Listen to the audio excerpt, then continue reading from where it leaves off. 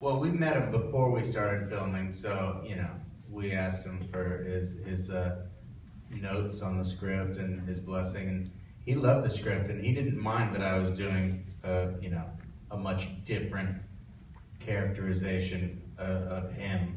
Uh, he's got a great sense of humor, so he was fine with it. That I was portraying him as this antisocial grouch.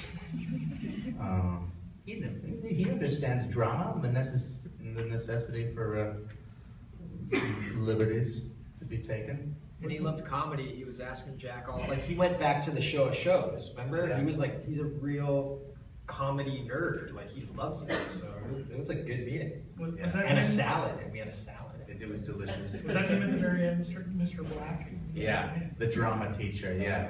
Good eye.